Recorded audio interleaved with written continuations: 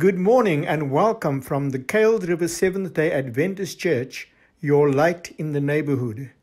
We are delighted that you have chosen to join us this morning for our worship service. And we trust that as we pray, sing, and listen to God's word, that we will find the blessing that God has planned for each one of us.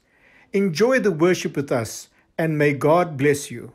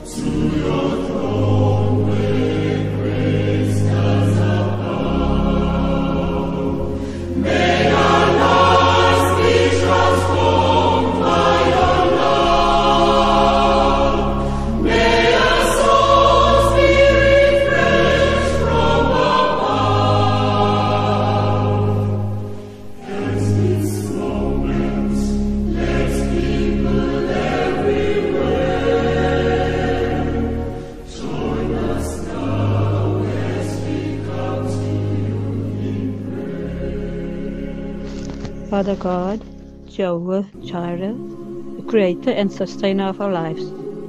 On this Sabbath morning, we humbly and unworthy approach your throne of grace, knowingly that you care for your children. O Lord, accept our praise today as we confess our sins against you. Wash us in the blood of the Lamb that was slain for sinners such as I. I come to worship you because thou art worthy to be praised.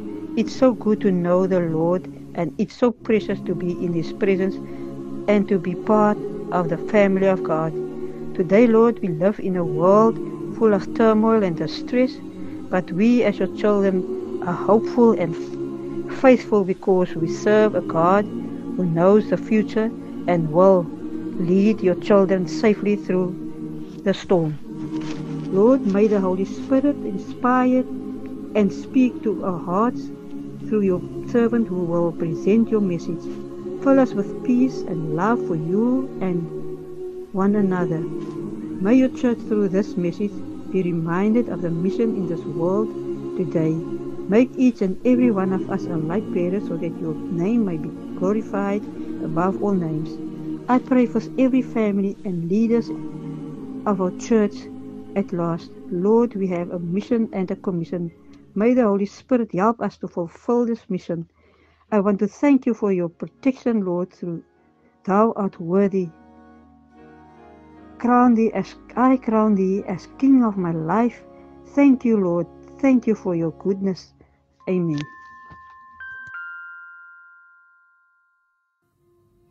Dear Lord, I know you are the owner of the universe, totally able to do anything. If this child will later enlarge Satan's lines, please allow him to rest. But if he will serve you, please perform a miracle. I now give up my desire to get money to become rich. I rededicate myself to serve you my whole life, doing whatever you want me to do, and going wherever you send me. I will also dedicate this child to you, and will prepare all my other children to serve you. This prayer came from a desperate father, while his baby son, who was near death, was having surgery.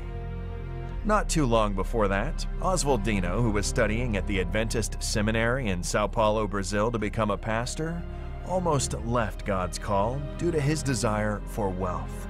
He was considering a friend's proposal to partner with him in purchasing a gas station when his son Marcos became very sick. During that meaningful prayer in one of the hospital's restrooms, Oswaldino put his entire life in God's hands. No one can say that Marcos's healing wasn't a miracle, and after that experience, he and his siblings heard the following words from their mom every year. Here is your birthday offering, dear. Please tell your Sabbath school teacher that it was your birthday. And don't forget to give that offering as you do every year. The birthday offering became a meaningful experience of gratitude and rededication to God for this family, which raised two pastors and a pastor's wife. As you return your tithe and give your promise, ask God for a grateful heart that will honor Him throughout every year of life He gives you. May we put our desires last and God first.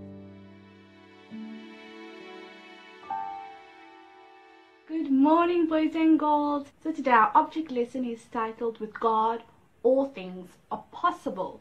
And our memory verse is taken out of Mark chapter 10, verses 27. With men it is impossible, but not with God. For with God all things are possible. Now what I want you boys and girls to go and do for me right now is go and get an A4 page and a pair of scissors. You can use the safety scissors, but because I'm an adult, I'm a grown up, I can use a big scissors, okay? I want you to try and make a cut big enough in an A4 sheet of page for your entire body to fit through.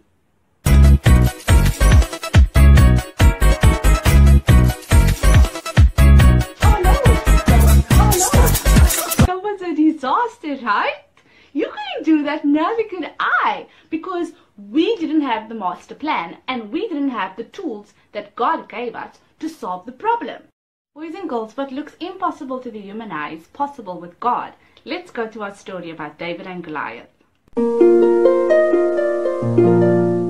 You can read this story with your parents tonight in 1 Samuel chapter 17. This story is about a shepherd boy and the champion of the Philistines, a giant Goliath. So David, he was just a normal boy, right? Um, but what made him special was that he spent time with God. So when David faced the mighty big angry giant, he wasn't scared at all, even though he was scary, even though Goliath was massive and huge and angry. David knew that God was on his side. So, what had happened was, David was sent to the battlefield because he had older brothers who were soldiers and they were in the king's army. So they had to fight the battle, right? So what had happened was David's father sent him to the battlefield to go and send food for his brothers to eat. When David came to the battlefield, he saw this huge giant. He had this booming, loud voice, and he was shouting at the Israelites. And all the Israelites, they were shaking in their boots. They were so scared of Goliath. Goliath challenged the Israelites. He said to them, Send me a champion. Choose any man to fight me. And if I win, then the Philistines win. But if your champion wins, then we will lose the battle. Goliath, after he said that statement, he cursed God. I'll fight him, said David. Then the soldiers took David to the king. King Saul saw that David was only a boy, but he was a boy with great courage and armed with the power of God. When Goliath saw David, puny little David, walking onto the battlefield, he started laughing. He laughed so much that he removed his helmet off from his head. When he saw the stick, he shouted at David and said, What are you doing with that stick? Do you think I'm a dog that you would chase me? David took one pebble and he put it inside of his sling and he started swinging it above his head. While he was swinging the sling, Goliath was still laughing, but he wouldn't be laughing for much longer. God's power, because God's power was inside of David. God's power was inside the sling. God was with his people. As David swung the sling up into the air, it landed straight onto Goliath's head. A deadly blow. Goliath fell down to the ground.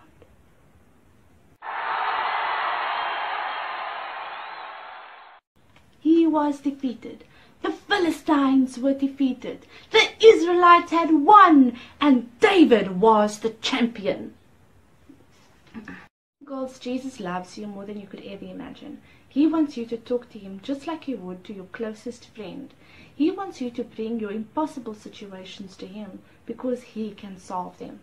God is the one, boys and girls, with a master plan, and he gives us the tools to help solve the problems in our life. The tools in your life are your parents, the Bible, your siblings, your teacher, and people in your community.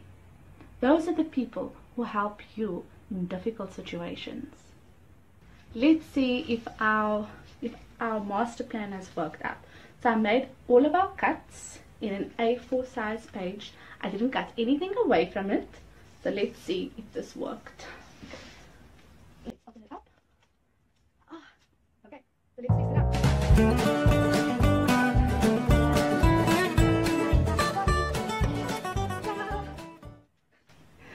And girls, sometimes I'm gonna put this around my neck.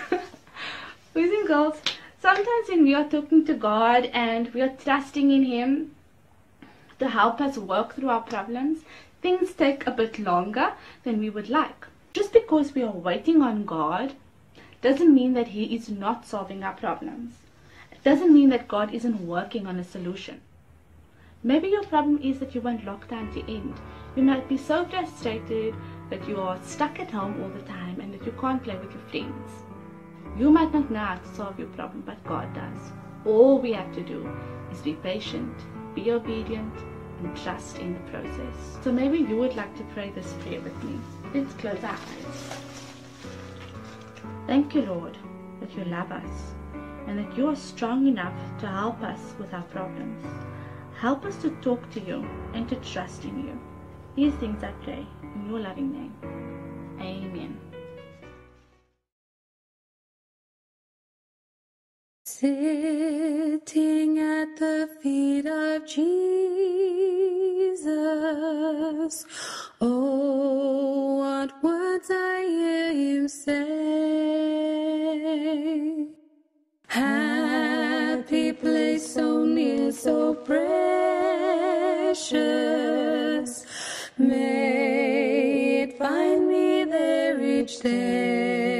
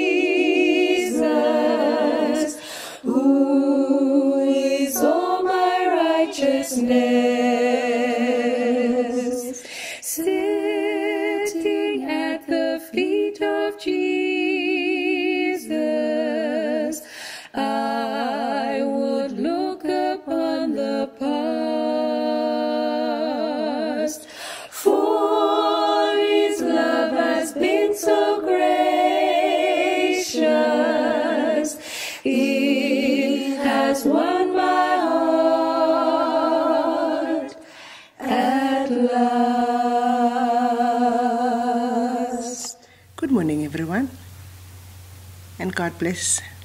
It's my privilege to be God's messenger this morning, and I trust that as we will spend time around God's Word, it will be a blessing to all of us. Let us pray. Father God, we thank you for the privilege that we have to be of service for you. We thank you for the gift of the Sabbath the privilege of worship. And as we will spend time around your word, open our hearts to hear the word of God. In Jesus' name, amen. Fear not, for I am with you, says the Lord. Isaiah 43, verse 1. But now, this is what the Lord says He who created you, O Jacob, he who formed you, O Israel. Fear not, for I have redeemed you. I have summoned you by name. You are mine. Verse 2 When you pass through the waters, I will be with you. And when you pass through the rivers, they will not sweep over you. When you walk through the fire, you will not be burned. The flames will not set you ablaze. For I am the Lord your God, the Holy One of Israel, your Savior. Verse 4 Since you are precious and honored in my sight, and because I love you, I will give many in exchange for you and people in exchange for your life. Do not be afraid, for I am with you. This is a bold promise, right? Given the pandemic we are living through. Not so? None of us have been unaffected.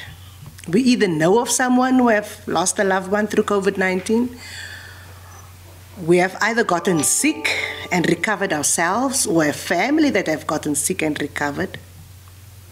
All of us know of somebody affected by COVID 19. So many deaths each week. We are reeling from this impact. I'm not sure about you, but going to the shop for groceries is a scary thing. We hardly want to touch any surface. I'm uncomfortable if anybody doesn't keep their social distance. Not fear? Really? No one is immune from trials, tribulations, troubles, and distresses in their lives. These things affect us all. Jesus said, These things I have spoken to you, that in me you may have peace. In the world you will have tribulation, but be of good cheer, I have overcome the world. John 16 33. Notice the words when you in verse 2. This doesn't mean if, it means when. Inevitable. You may try to avoid the waters and the rivers and the fire, but you won't be successful. You will either do it with God or alone, but you will go through it. And remember, if God's will brings you to it, His grace will bring you through it. We do not all go through the same waters. Some of us will go through the water of sickness, some of discrimination, some physical or mental handicap, some through abuse, some extreme poverty, some betrayal of some sort. All go through different things. And through the rivers. Throughout life, we have rivers to cross. There will be times when our faith is not as strong as it should be. Sometimes when sorrow and grief seem greater than we can bear, and times when the challenges facing us come when our strength is already gone. But there is a promise here they will not overflow you. Even though you will pass through the waters, some very deep and dark rivers at that too. Rivers that threaten to overflow you and dash you against the rocks hidden from your view. God's promise is sure, friends. They will not overflow you. Believe it. And then we walk through the fire. I was looking up what through the fire means. It's a process of burning, a changing from one substance to another. There was a woman who called up a silversmith and made an appointment to watch him at work. She didn't mention anything about the reason for her interest in silver beyond a curiosity about the process of refining silver. As she watched the silversmith, he held a piece of silver over the fire and let it heat up. He explained that in refining silver, one needed to hold the silver in the middle of the fire where the flames were the hottest to burn away all the impurities. The woman thought about God holding us in such a hot spot. Then she thought again about the verse in Malachi 3, verse 3 that he sits as a refiner and purifier of silver. She asked the silversmith if it was true that he had to sit there in front of the fire the whole time the silver was being refined. The man answered, Yes. He had not only had to sit there holding the silver, but he had to keep his eye on the silver the entire time it was in the fire. If the silver was left even a moment too long in the flames, it would be destroyed. The woman was silent for a moment. Then she asked the silversmith, How do you know when the silver is fully refined? He smiled at her knowingly and answered, Oh, that's easy when I see my image in it. I don't know about you, But I think we are going through the refiner's fire lately with all these things that are going on around us. It's just a little trial here and a trial there. It's just fire for the purifying process. As we study the history of Israel, you will find that God always made a way for them. He made a way to get them out of Egypt. He made a way for them to cross the Red Sea. He made a way for them to cross the wilderness. And he made a way for them to go into the promised land. Deuteronomy 1, verse 21 See, the Lord your God has given you the land. Go up and take possession of it as the Lord, the God of your fathers, told you. Do not be afraid. Do not be discouraged. Deuteronomy contains a distinct message spoken to the Israelites by Moses just before he dies. The Israelites have wandered 40 years in the wilderness. They are standing on the banks of the Jordan River, where their forefathers had failed miserably 40 years prior. As they stand at their place of greatest failure, Moses is strongly admonishing them to obey God, who has been and will continue to be faithful to them. The Israelites must make an all important decision about their future as they stand on the brink of the promised land. They stand at the point between their past history of disobedience and their potential future obedience. 40 years of aimless wandering and failure motivates them to emphasize God's ability to provide success. We find the mandate of God's being made crystal clear to his chosen people. Look, see the land that I have given to you, just as I promised your fathers. Go up and possess it. Claim it with all the abundance and fulfillment that I desire for you. Do not fear and do not be discouraged. Yet, after having come so far, after having prevailed over Pharaoh and his army, after crossing on dry land to the other side of the Red Sea, after successfully journeying through the wilderness places, the Israelites simply could not cross the finish line.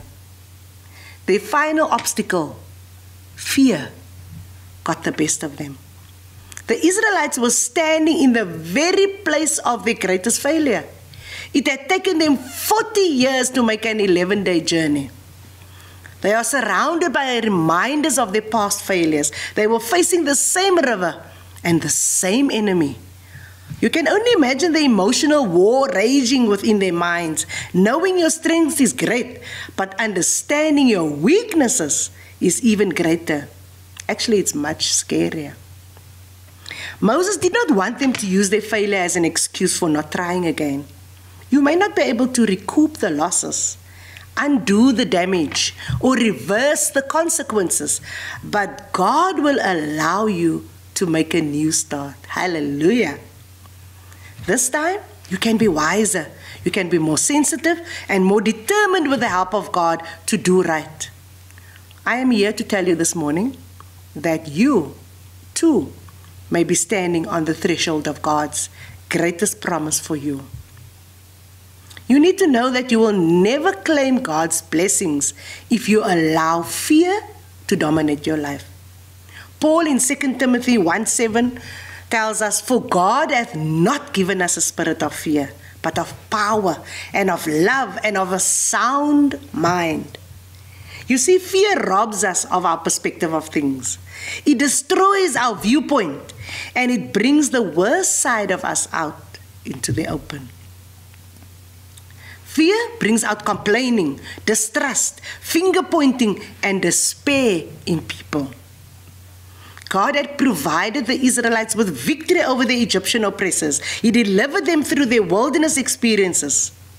Doesn't fear affect us all in that same way? You see, fear spreads like wildfire among the people. Fear causes us to lose the ability to see clearly, to see things in their true perspective. I'm sure you, just like I have, have received all these panic messages through the different forms of media, different ways to stay safe, different ways to eat, different ways to of conspiracy theories, all these things strike strike fear in our hearts. True perspective is what is called for. It is fear itself, not the object of that fear that destroys us, playing on our minds and causing us to deny the power of God in our lives, to give us the victory. You see, fear causes us to lose sight of the precious promise found in Philippians 4, verse 13 I can do all things through Christ who strengthens me. The greater our fear becomes, the weaker our reasoning ability becomes. You see, fear distorts God's purposes in our lives. E.G. White on fear says, Faith takes God at His word, not asking to understand the meaning of the trying experiences that come. But there are many who have little faith. They are always fearing and borrowing trouble. Every day they are surrounded by the tokens of God's love. Every day they enjoy the bounties of His providence, but they overlook these blessings.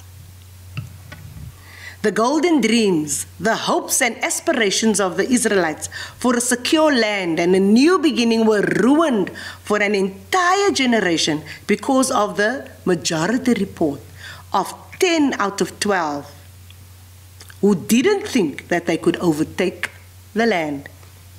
Be careful of the majorities. It was the crowd who had thrown palm branches that said, Crucify him. In Deuteronomy 1, verse 29, then I said to you, Do not be terrified, do not be afraid of them. Verse 30 The Lord your God, who is going before you, will fight for you as he did for you in Egypt, before your very eyes and in the desert.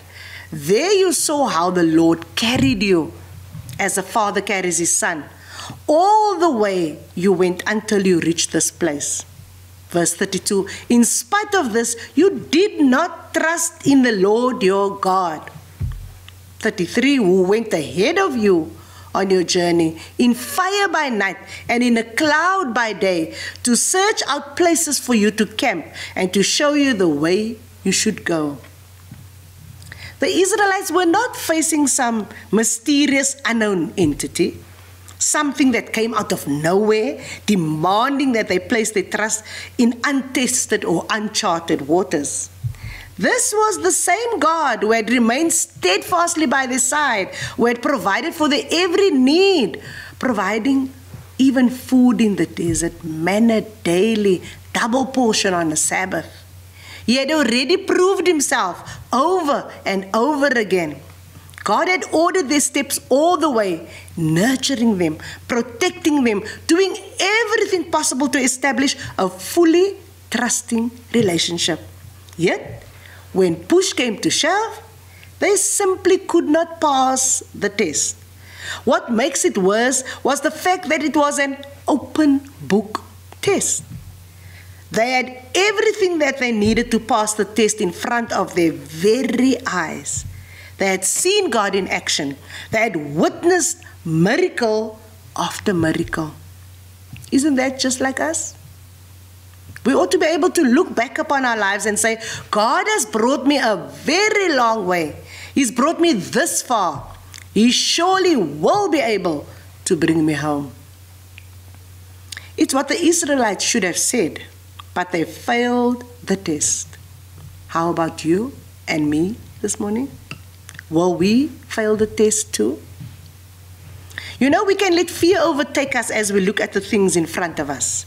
We can tremble at what we see in the headlights. However, if we just take a moment to look in our rearview mirrors, perhaps our memory of things past, when God brought us through, when God opened doors where there were no doors, when God made a way out of no way, just perhaps we will be able to change our perspective and it will give us courage to trust God in our current situation. Fear causes us to disbelieve God's promise that I will never leave you nor forsake you.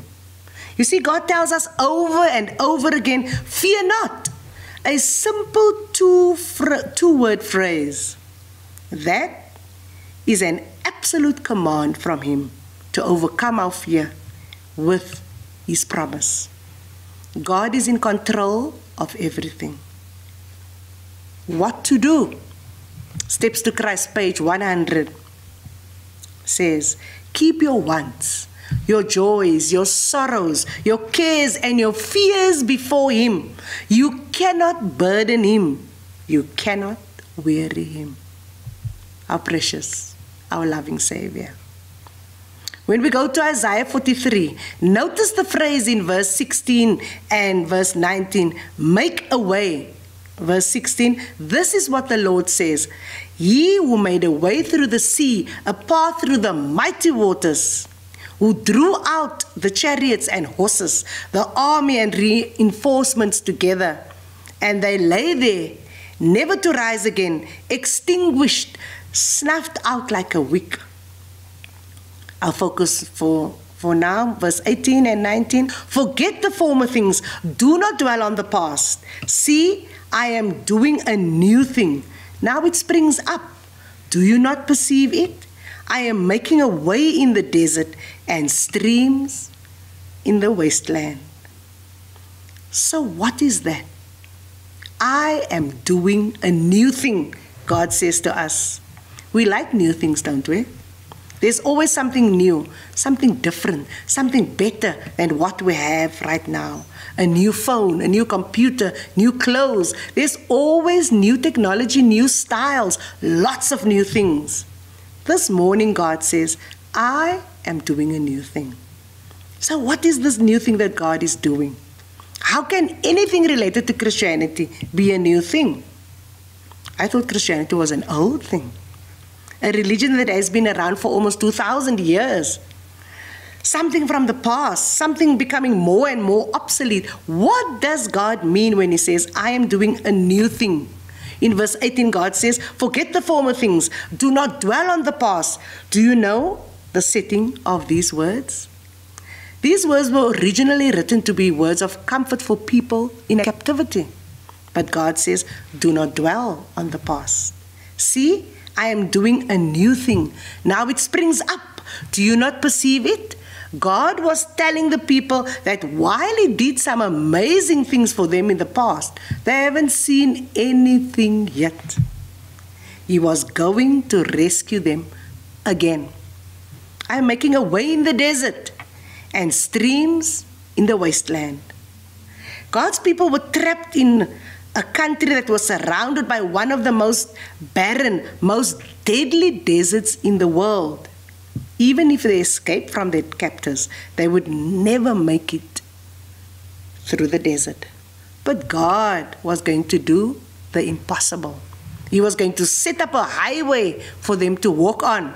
He was going to provide water for them as they journeyed back to the promised land.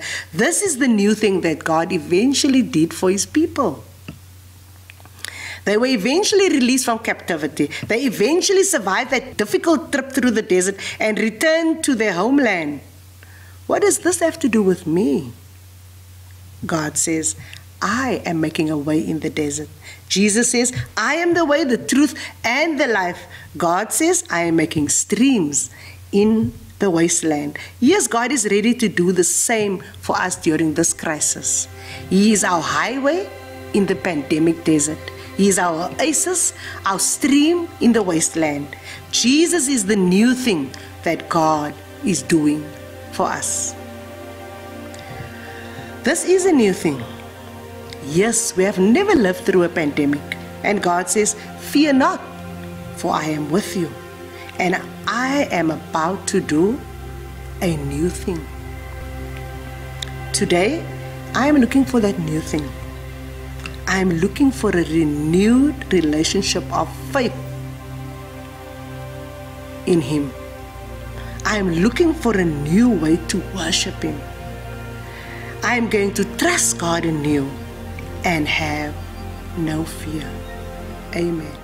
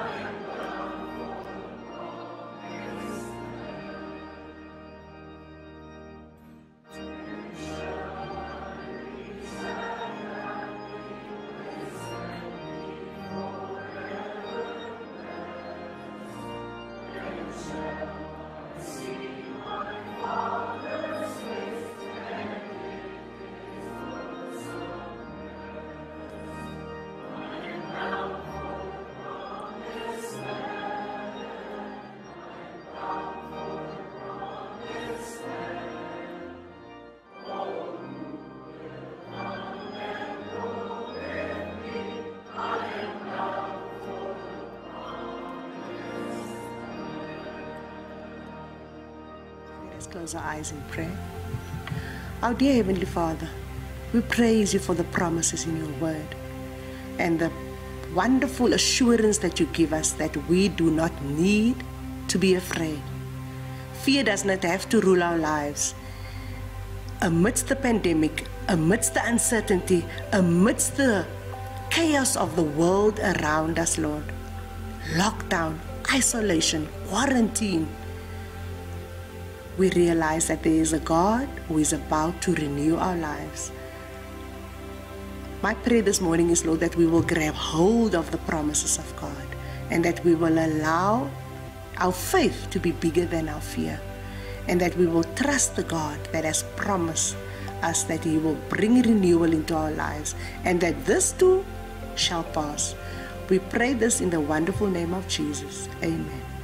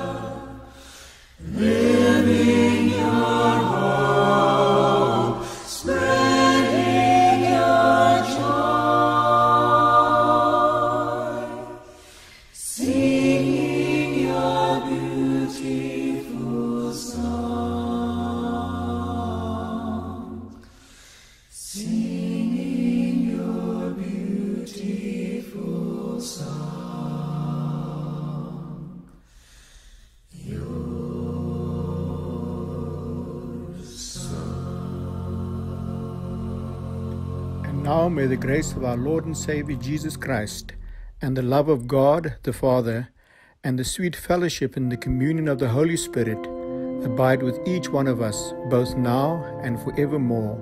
Amen.